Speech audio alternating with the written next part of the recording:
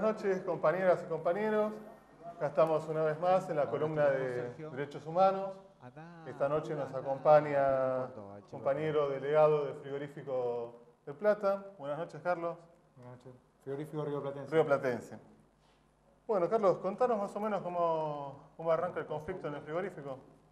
Bueno, tuvimos un conflicto importante. En realidad el conflicto es eterno porque las condiciones de trabajo de los trabajadores de la carne son muy malas sobre todo a partir de la, de la crisis de Hacienda y, por lo tanto la crisis de la industria, hay un ataque brutal a las condiciones nuestras de trabajo, que, bueno, estamos hablando de alrededor de 15.000 despidos, el cierre de un montón de fuentes de trabajo, algo que en los medios se expresa solamente cuando la patronal llora por el cierre de las exportaciones o por sus sus beneficios propios, pero que nunca se expresa desde el punto de vista del, laburante, que de un gremio tan importante que hizo historia en el país, eh, en los últimos años, cuando el sindicalismo está este, cobrando, en todas sus expresiones, ¿no? está eh, cobrando una, mm, participación tan grande en la, vida política y en, en, todos lados,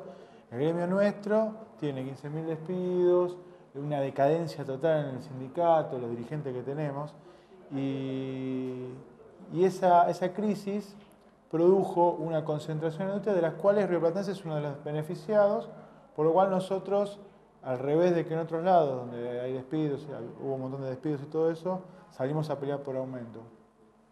Este, salimos a pelear por aumento, impulsados también desde, por la, por la este, realidad de que tenemos una comisión interna que defiende lo que los compañeros votan en asambleas, que no se quedan con la palabra de la burocracia sindical o de la patronal y organiza el reclamo, este, algo que para la patronal es revulsivo. Entonces el conflicto no, pasa a ser meramente sindical, este, que lo es, sino también que tiene un aspecto que es político en el sentido de que el frigorífico, no, o sea, la patronal no quiere conceder nada para, para no alimentar este, esta experiencia clasista que, estamos llevando. Sí, sí, aparte en, los últimos tiempos, la verdad que pudimos ver el avance de las luchas, tanto los compañeros de, de Pati, que seguro nos, podrás contar, como los compañeros de Línea 60, como los compañeros del Sarmiento, del Roca, ¿no? O sea, es inevitable hablar que hay un avance en lo que es la lucha de clases. Y justamente, Carlos, o sea, nos contabas que, bueno, ¿Hubo reclamos salariales? ¿Qué fue lo, que Sí, básicamente nosotros eh, a partir del fin del año pasado eh, hicimos un reclamo a la, empresa por, una actualización que queríamos de, unos ítems internos que tenemos de incentivo y premio de asistencia. Eh, la patronal nos plantea de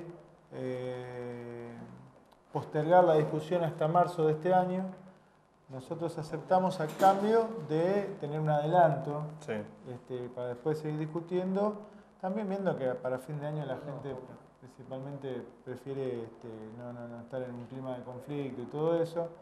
Este, lo que vimos, aparte de lo que nos dijo la, empresa fue enero, febrero, marzo siempre son los meses más flojos de la industria, históricamente, eh, porque es un trabajo muy estacional. Eh, para marzo vamos a tener una discusión más seria a ver qué podemos dar, qué no podemos dar. Bueno, enero y febrero y marzo de este año fueron el doble o más de lo que hizo el año pasado. Cuando las noticias, lo que decían en los diarios, es que la faena había caído de un 20 a un 25%. O sea que se está operando esa concentración que nosotros veíamos. Eh, cuando fuimos a hablar de nuevo en marzo, la vuelta de, toda esta espera, este, nos dicen que no van a negociar nada, que no fuera por lo que se negocia con el sindicato a través de las paritarias y nos echan a siete compañeros de una de las contratistas, lo que origina un paro que se torna virulento a través de la, o sea, a partir de la negativa cerrada de la empresa.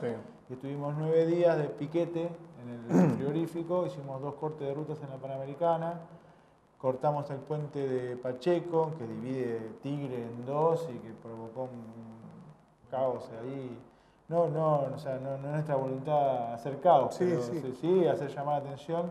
Fue un conflicto grande, importante, porque aparte incluso el frigorífico está en el medio de tres barrios obreros de donde son el 90% de los compañeros que trabajan ahí. que son las tunas que están al costado, el otro costado está Delfino y enfrente está el Sorsal y la Paloma, que son los barrios más pobres de Tigre, diríamos. Contanos qué nivel de adhesión de los compañeros hubo ante estos reclamos. Y bueno, la asamblea siempre fueron masivas, hay un montón de, videos que tenemos ahí colgados en, el Facebook del frigorífico, eh, donde se decidía por, por, voto cómo seguíamos las medidas. Este, lamentablemente, acá el tema de la crisis y de la capacidad ociosa en la industria nos jugó en contra y sobre todo la complicidad del sindicato, mejor dicho, de la burocracia que dirige el sindicato, eh, al permitir que la empresa pudiera faenar en otros frigoríficos y eso hizo que eh, parte de nuestros reclamos se debilitara. Lo que no se debilitó en ningún momento fue el piquete, vos me decías, preguntabas por la adhesión, no tuvimos 200 compañeros permanentemente ocupando el frigorífico, por lo cual no pudieron sacar 2.500 animales que tenían adentro, ni hablar la cantidad de media reses que tuvieron que tirar, que estamos hablando de alrededor de, no sé, montón. Aparte los jefes, fue una alegría verlos bajarla, subirla, bajarla de nuevo, subirla. Este, la policía que venía para meternos miedo y los compañeros diciendo, bueno, si tienen que reprimir, repriman, y los tipos que se querían matar.